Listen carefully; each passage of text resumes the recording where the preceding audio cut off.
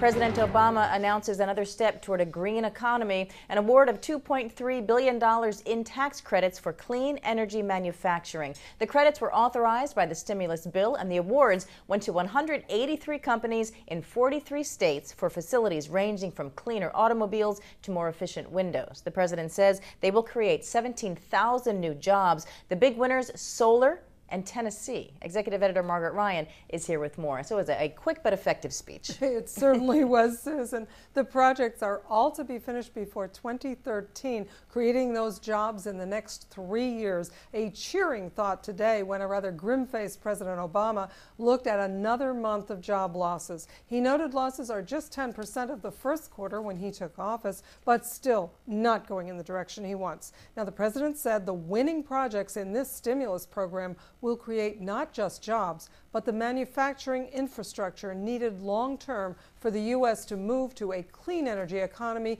and for the U.S. to retake the global lead in green energy.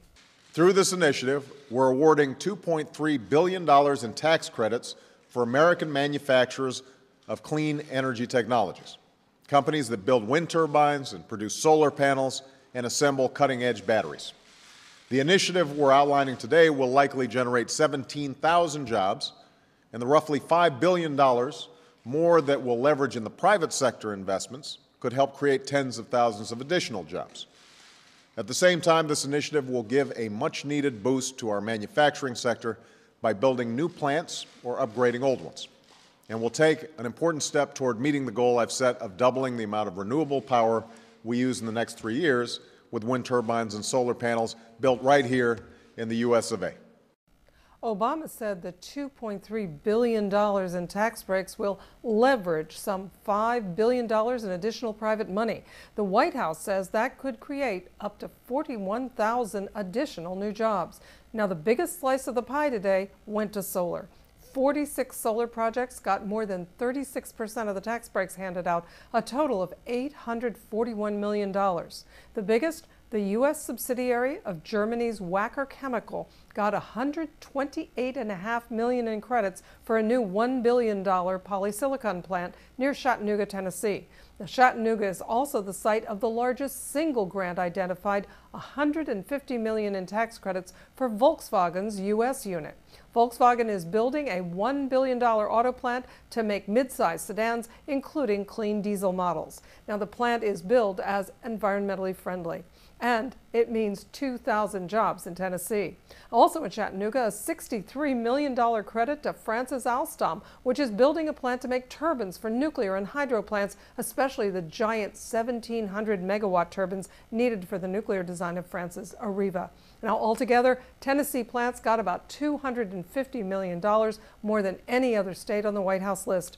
The White House stressed that while the plant owners might be headquartered outside the U.S., they'd all chosen to build factories in the U.S. and employ U.S. workers. So quite a win for Tennessee and for solar. Margaret, how did wind do today? Well, wind got around 11% of the awards. That's about $260 million to uh, three dozen projects. I mean, not bad, but nowhere near you know where solar was. It's hard to be a little more precise because the White House didn't break out all the projects. They they uh, gave a list that included 46 of them for about half a billion dollars in tax credits um, that were not otherwise identified. Now, that included the $150 million for Volkswagen. So even if you took, even if you said all the rest were for wind, that would be about $350 million. You still can't add that to what wind got and get anywhere near solar. Right. Solar was just a clear winner here.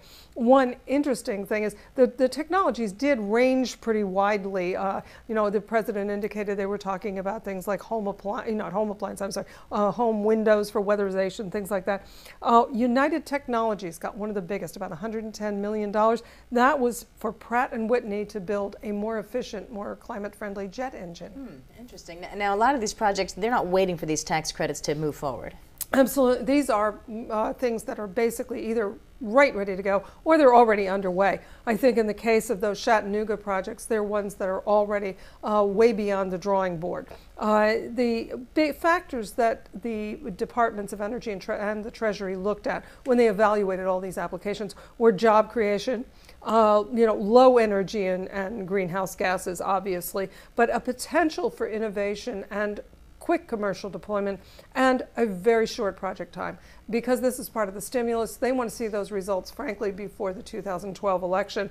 They're, clearly, these projects are projects that were going ahead. Otherwise, it, they weren't things that were waiting on the tax breaks to go forward. Right. Okay. So, how many applications came in? How did they sort through all these? Well, senior administration officials told us that the government got some 500 applications for the tax breaks. They totaled requests for about 7.6 billion dollars.